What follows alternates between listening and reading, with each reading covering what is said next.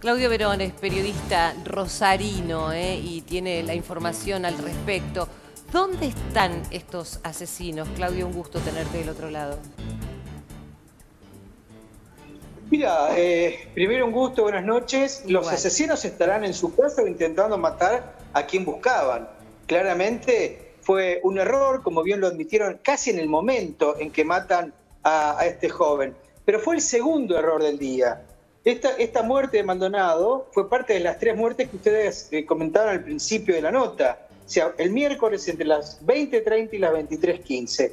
El primer error fue una joven en lo que se llama el Bajo Ayolas. Es un lugar muy humilde, para los que conocen seres, cuando se entra por el sur, sería el acceso sur de la ciudad. Eh, hay un puente allí, un viejo puente ferroviario. En un pasillo, allí a una, una joven llegaron a la puerta de ese pasillo, un pasillo humilde, estamos hablando de un asentamiento muy antiguo, eh, y balearon con una ametralladora y mataron a una, chica de 18 años y balearon a un chiquito de 12. Es decir, la situación está muy difícil, eh, pese a que tenemos tres fuerzas federales trabajando en la ciudad. Está la Policía Federal, está la PCA, está Gendarmería y está Prefectura, además de la Policía de la provincia. Pero evidentemente lo que está faltando aquí son patrullajes, es un plan concreto de cuadrícula en la ciudad de patrullaje, porque si fuera así, esto no sucede. ¿Vos crees si que vos tenés un, más allá del patrullaje lo que habría que eliminar no sería la connivencia? Mira, eh, todos apostamos por la paz del mundo, y la connivencia, ¿cómo la eliminar después de 14 años de connivencia?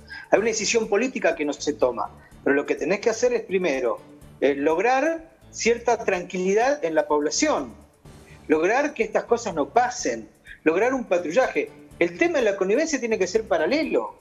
Eh, un ejemplo, eh, en el juicio de los monos quedaron, la famosa banda de los monos, ustedes ya la conocerán por mentas, quedaron 13 policías presos. El otro gran capo mafioso de la ciudad, Esteban Alvarado, tenía policías trabajando en fiscalía en su nómina.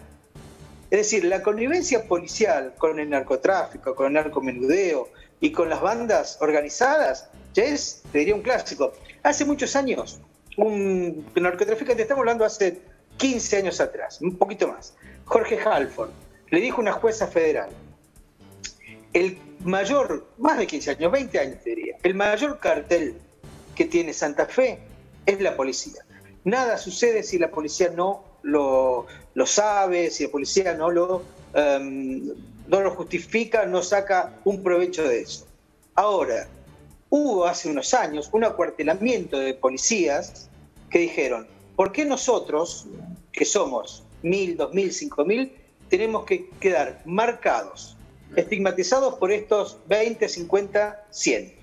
En todo, el, todo Santa Fe, lo digo. No, porque no solo pasa en Rosario, pasa en la provincia y pasa en la ciudad capital, en la ciudad de Santa Fe.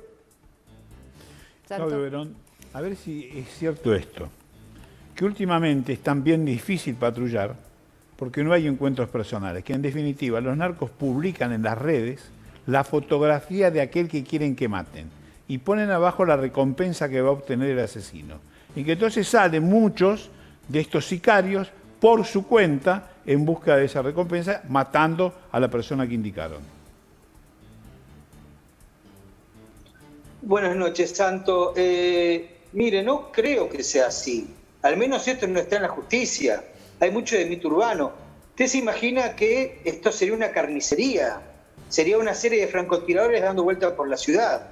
Eh, es probable que en algún momento se haya planteado eso o haya sucedido. Ahora, en la justicia no se vio.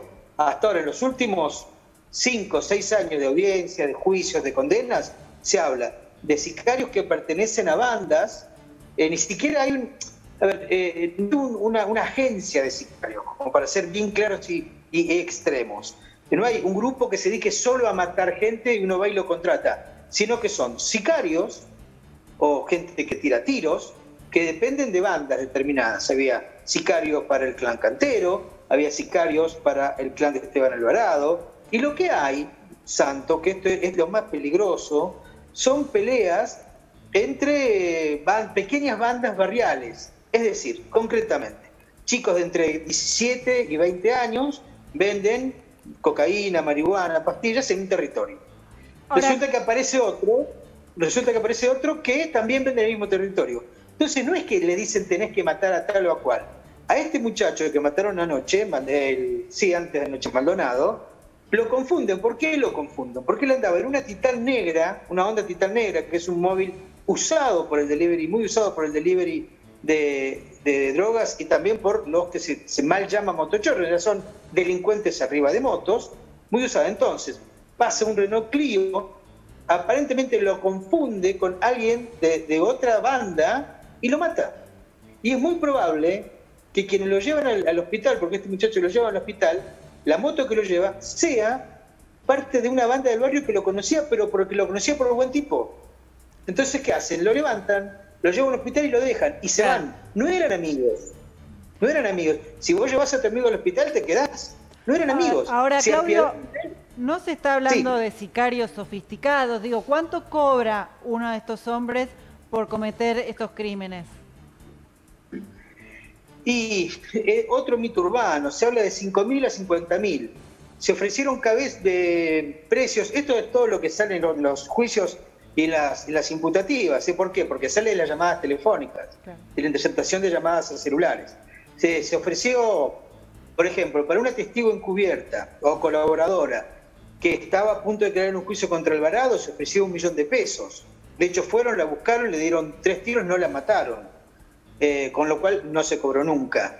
Eh, en realidad, em, es, como, un, es como un, un, pacto, es decir, te dice, mira, hay, anda a tal lugar, a tal casa, por ejemplo, vamos a suponer que es una, vivienda, una casa en una calle cualquiera que hay en cualquier ciudad, San Martín al 1300, es una casa azul de rejas blancas, pero por ahí al 1500 está en la misma casa azul, una casa similar, y van y vuelven la casa de San Martín al 1500. Entonces, por eso les pagan algo, les dicen, mira, hay 5.000, hay 20.000, hay 15.000.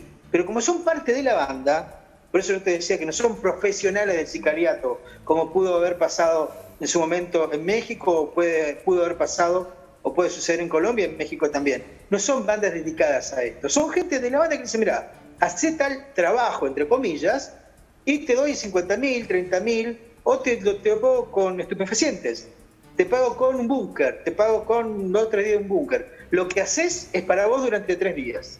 Ya, por ejemplo. Para despedirte, Claudio, la, última pregunta, respondeme por sí o por no. El ministro eh, Fernández, que está en afecto a hablar con los medios, con los periodistas, etcétera, etcétera, ¿ha aparecido? ¿Está tomando alguna acción? No. Ok. No, para nada. Aquí es muy local la cosa. Mm. Se maneja el ministro Jorge Laña. Yo no sé cómo son las relaciones políticas entre el ministro Fernández y el gobernador Perotti. Ignoro. Gracias.